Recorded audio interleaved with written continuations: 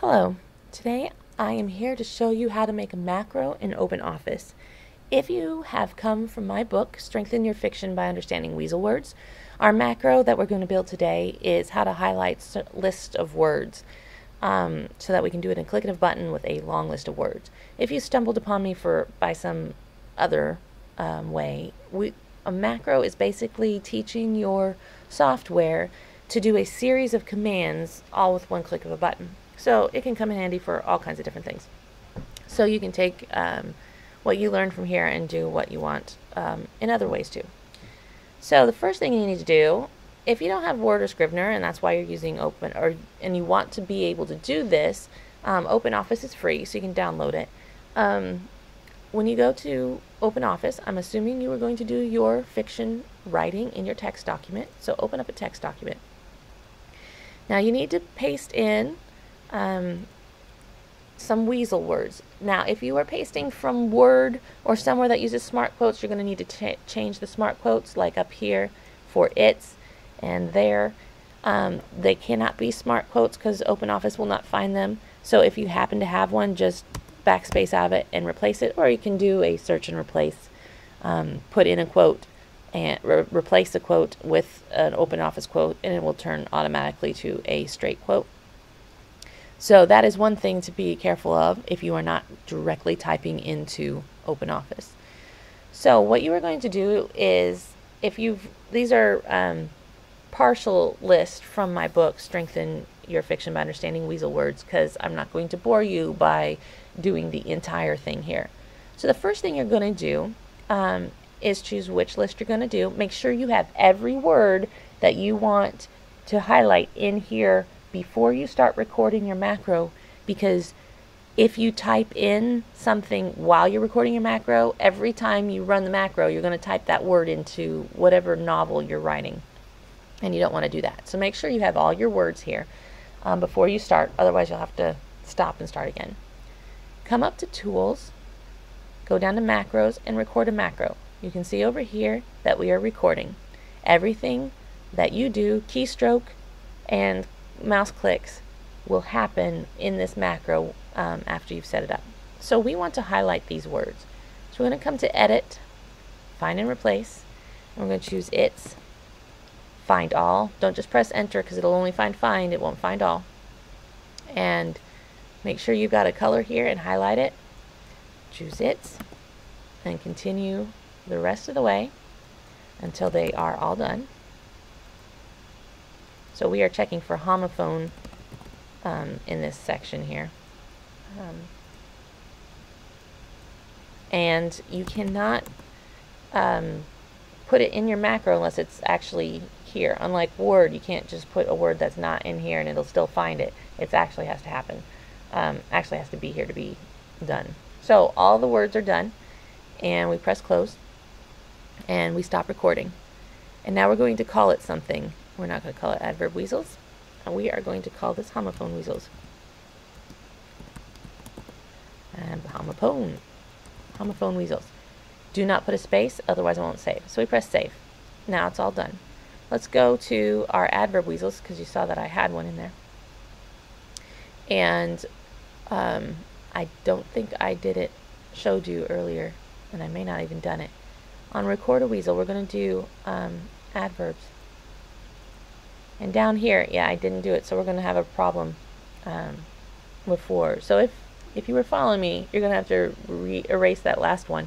And make sure you put whole words only so that we don't have a word with ITS in the middle of it show up.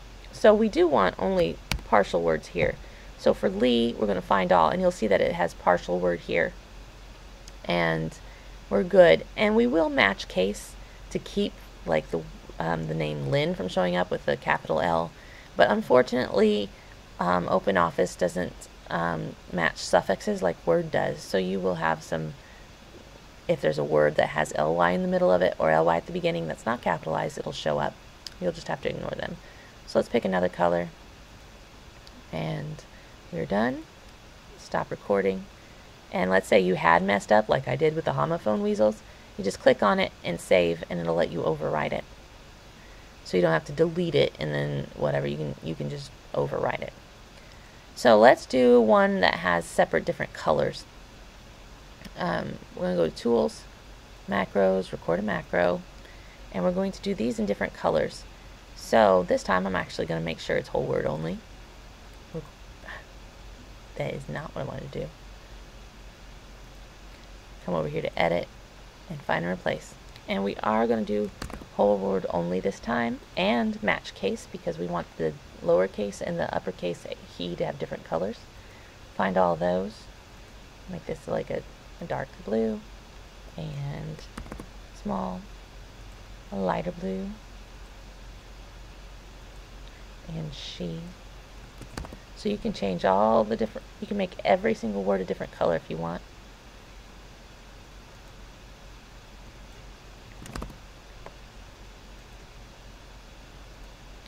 And we're done. So we close it, we stop recording.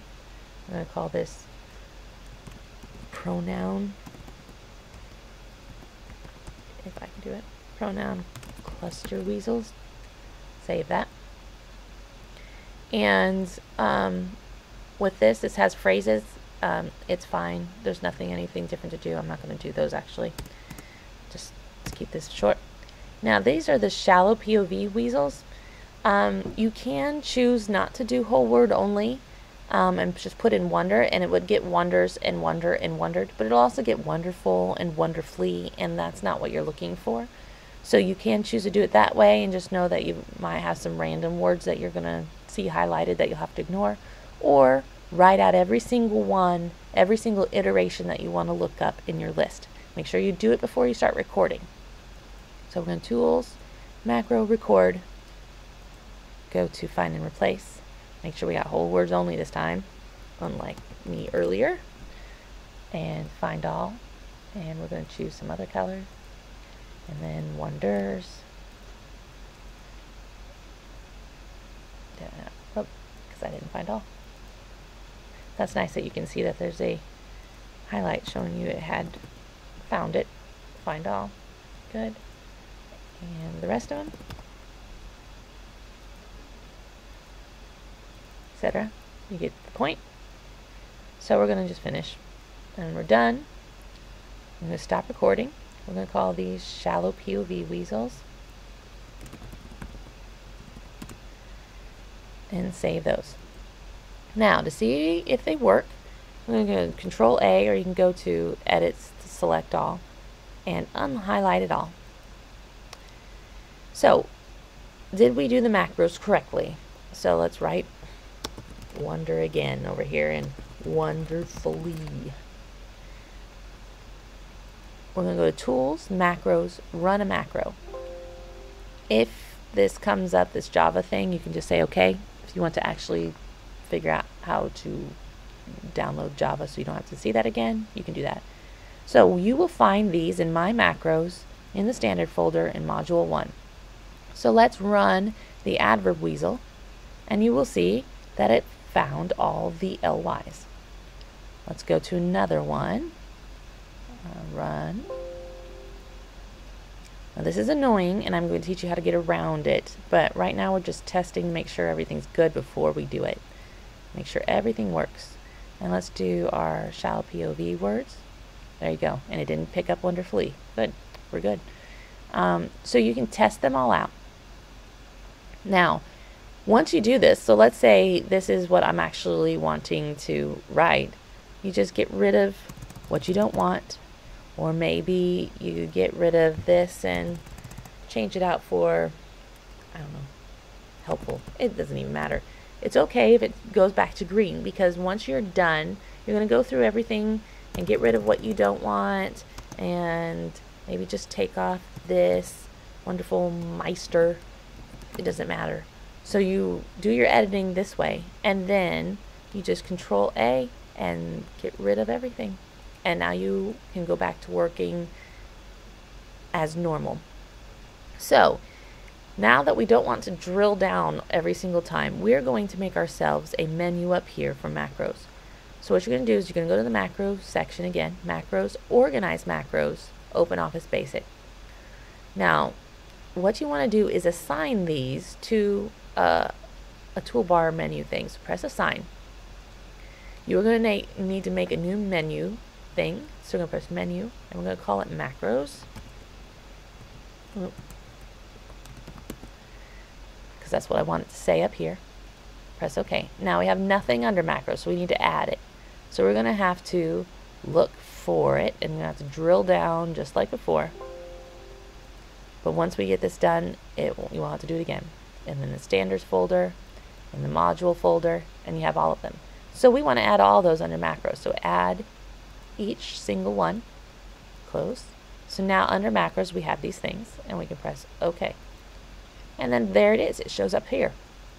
So from now on we can go macros, adverb weasels, homophones, pronoun clusters, and shallow POV words. And there you have it. So do your do your work in here, make this one seeming, and then when you are done, you erase it, and you're good to go.